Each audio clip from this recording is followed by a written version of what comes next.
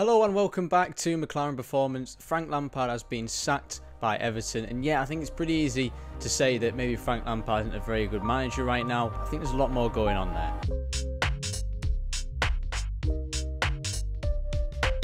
I've got to say, when the news first came out, my first thought was to make a video and talk about players becoming managers, why that's not necessarily the best transition, why there's probably so much more to being a coach than just being a top player before. Of course, that's a good topic, but as I looked more into it, I think it's quite evident that, that Everton haven't really been great for the past few seasons, and there's a lot of interesting things going on there behind the scenes. I mean, to put it nicely, Everton is, is a pretty interesting club, you know. Over the past few, I think seven, six years, there's seven different managers. They've spent around about 700 million, and that is not contributed at all uh, to performances. I'm pretty certain that their spending is up there with some of the top clubs, I think, throughout Europe, never mind just England. They are spending a lot of money. And I think they are really, just on the face of it, looking first off, a classic example of how money doesn't really bring you that success. How, especially in football, with lots of people, there's lots more to just putting money into it. But that is just on the face of it. What is it that's really going wrong at Everton? Why is there so much change going on? Why is there no success happening there?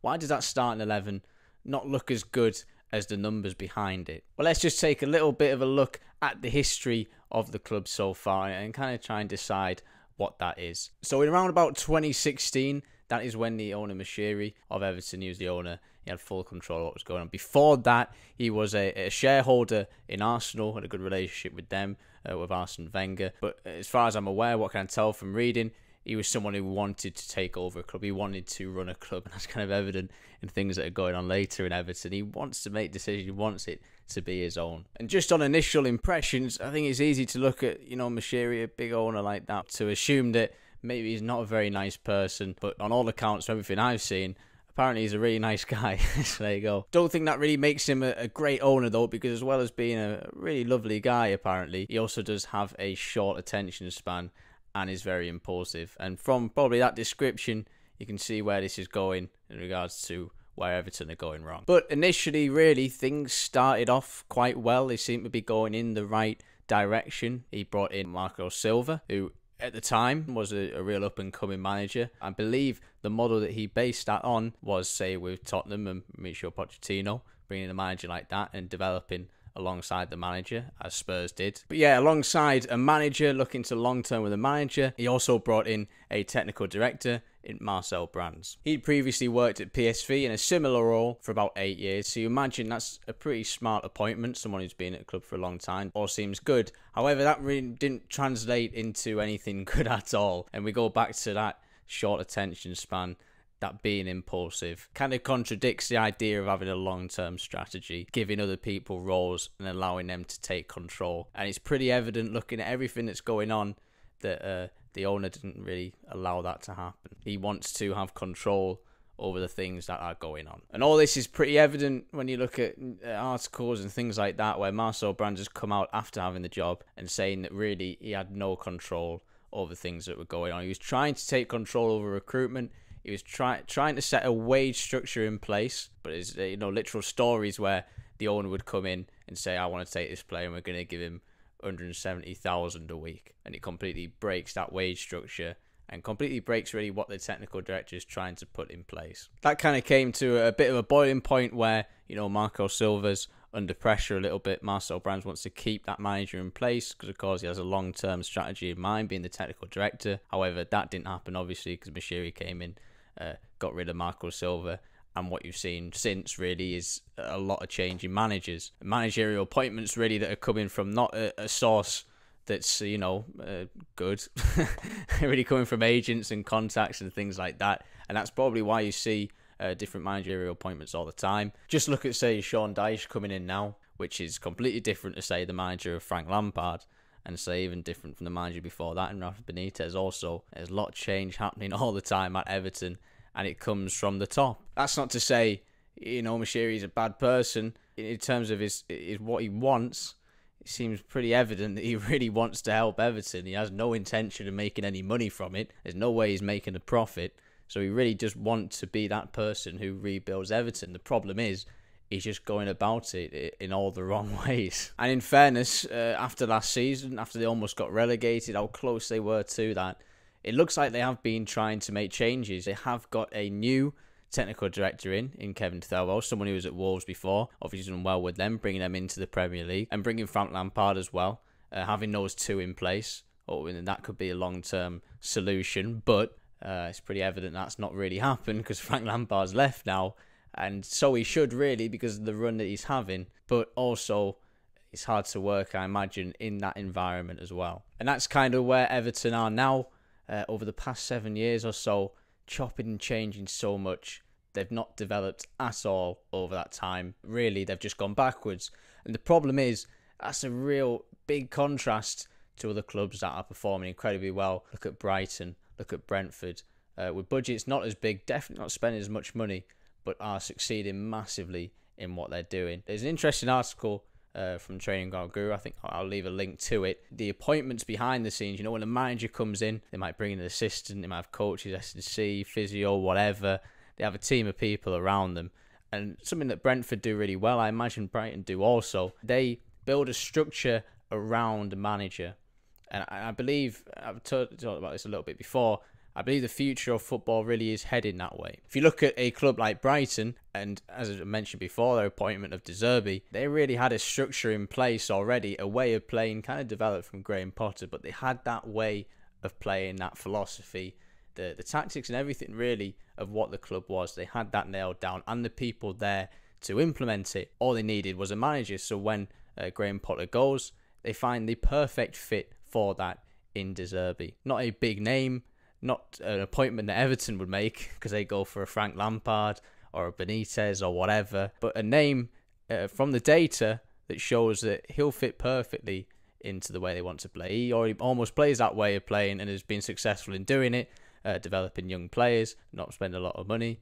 That fits Brighton perfectly, and they've changed the manager, and hardly anything has changed about the way they are performing. Clubs like Brentford as well have done the same.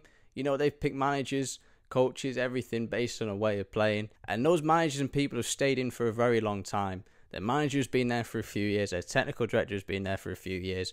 A lot of people have been there for a long time, and you've seen them develop year on year, season on season, and they've got to the point where they are now. Contrast that with Everton, uh, and that's completely different. Again, credit to that Training Ground Guru article because it's it's really interesting to look at, and I've got it written down because it's quite a lot. They've had seven managers uh, in the past six or seven years. That's three sporting directors, eight heads of performance, three heads of medical, and three academy managers uh, within that time. By comparison, Liverpool, obviously very successful, on a somewhat limited budget as well. One manager, obviously, uh, two sporting directors, one academy manager, and two head physios. And that probably tells the entire story, really. It's that consistency and structure is what has made a club so good and it is what is absolutely killing Everton at the moment. I talked about Manchester United on the last episode and, and what Erik Ten Hag has really brought to Manchester United. Yes, he's brought tactics and and you know a good coach in him that he's brought, but he's brought uh, consistency. He's brought a structure, a way of doing things, rules, standards, things that you can be consistent in, and that will serve Manchester United really well in the future as they develop. But what's so important, I think, is that structure in your discipline, your values, but also the roles that people have and who does what. When Moshiri is asked if they're going to sack Frank Lampard or not, you know, he says it's not in his control, it's not his decision, which is absolutely baffling. I mean, either is or it isn't, but it looks pretty evident from the past few years that he is the one making the decisions. The point is, looking from the outside, uh, probably from the inside as well, who is making decisions. Nobody knows who is making the decisions. What is your job? If I'm appointed technical director of Everton, what am I doing?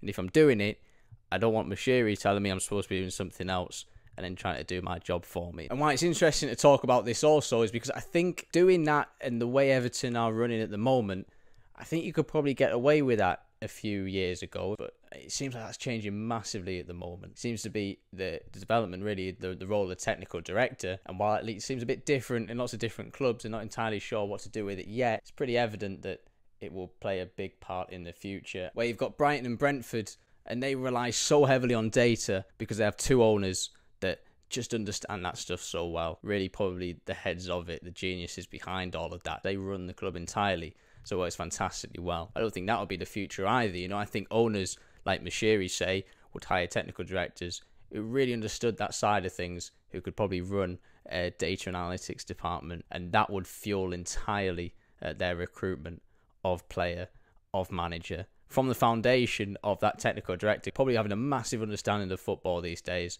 probably having all their coaching badges, whatever. Similar very to Dan Ashworth at Newcastle now, who, yes, Eddie Howe is definitely responsible for the short term success of the team, but ultimately the development that Newcastle are going to have over the next five, ten years, that's all going to be down to Dan Ashworth. And that comes from a place of really understanding football, but also really understanding the organisation of a club and getting everybody to do their job and getting people to know what their job is and just executing a plan and a vision for the next five, ten years. And like the thing with Moshiri, you know, he really cares about the club. He's putting a lot of money in.